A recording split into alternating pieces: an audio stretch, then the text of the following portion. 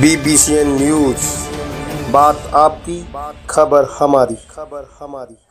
आगामी 22 अगस्त को ईद उल जुहा व 26 अगस्त को रक्षाबंधन त्योहार को शांतिपूर्ण और भाईचारे के साथ मनाने के लिए सदर कोतवाली में एक शांति समिति की बैठक हुई, जिसमें शहर के तमाम गणमान्य व chairman Ashish Sharma, CEO city Suman Kannaujia S D M Arun Kumar, ATM Rekha S Chauhan मौजूद रहे।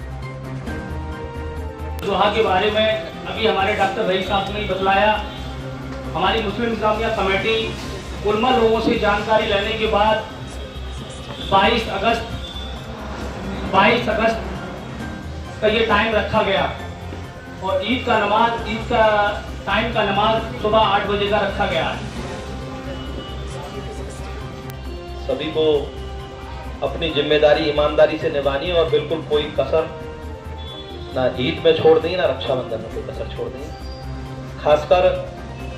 जानवरों पर ईद के समय कोई ऐसा कंट्रोल जो जैसे हम कर्मचारी लगाते हैं शिवकार लगाए जाए जिससे कोई किसी को ये महसूस ना हो कि हमारे त्यौहार पर कोई ऐसा कार्य कर रहा है। एडीएम साहिबा यहाँ का जन, जनपद जो है और खास- खासकर शहर पूर्णतः शांतिपूर्ण शहर है और बहुत ही अच्छी सभ्यता यहाँ हमेशा रही है और एक दूसरे के त्योहारों में कभी कोई कमी नहीं आने दी जाएगी, ये पूरा विश्वास हम नगर की ओर से आपको देते हैं। आप लेकिन अपनी व्यवस्थाओं को जितना सख्त और सख्ती के साथ रखें, उसको आपको रखनी चाहिए, ये मैं स्पष्ट रूप से आपसे कह रहा हूँ। और जहाँ तक मुस्लिम भाइयों से अनुरोध है कि कोई भी हिंदू भाई ये नहीं चाहेगा कि कोई चीज़ ऐसी अवस्था फैले आपके त्यौहार में, लेकिन कभी कभी ऐसा हो जाता है कि किसी का कोई जानवर आ गया तो उसको कोई तूल ना बनाए, एक सामान्य घटना भी हो सकती है कभी कभी हो जाती है, जैसे कि हम लोग पूजा कर रहे कर रहे होते हैं और वहाँ से कुत्ता आ जाता है गंदा तो ये कोई, अगर किसी दुर्भावना से प्रेरित नहीं होता, वो सब अपने त्योहार की तरह मनाएगा और पानी को लेकर जहाँ भी कोई किसी प्रकार की दिक्कत आपने में रखा है, वो नहीं आएगी और हम चाहेंगे कि जहाँ भी आपकी नमाज़ होगी, वहाँ पर हम आरो वाटर वाली ट्रॉलियाँ भी खड़ी कराएँगे 26 तारीख को जो हमारा त्यौहार है, बहुत बड़ा त्यौहार है, और एक ऐसा त्यौहार है जो पूरे देश में शायद सभी जगह और मुस्लिम भाइयों में भी मनाया जाता है वो त्यौहार। इसमें कोई वो नहीं कि वो नहीं मनाया जाता, वो सभी जगह मनाया जाता नगर अध्यक्ष इस ओर विशेष ध्यान रखते हैं, और नगर में सफ़ाई व्यवस्था ठीक चल रही है, लेकिन फिर भी क्योंकि ये त्यौहार जो थोड़ा सा